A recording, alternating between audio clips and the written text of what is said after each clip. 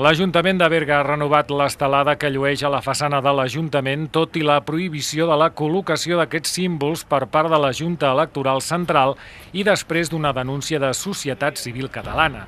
Si ahir la bandera que es podia veure a l'Ajuntament era petita i espatllada, avui ha estat substituïda per una nova.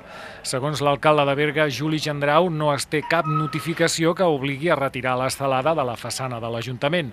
Per això tot continua igual i si aquesta petició arribés es presentaria algun tipus de recurs. Els ajuntaments catalans estan en la mateixa disjuntiva que Artur Mas quan es va enfrontar amb la suspensió del 9-N l'octubre passat. I dos ajuntaments, el de Saldrà i Torrella de Montgrí, ja han anunciat que desobeiran l'ordre.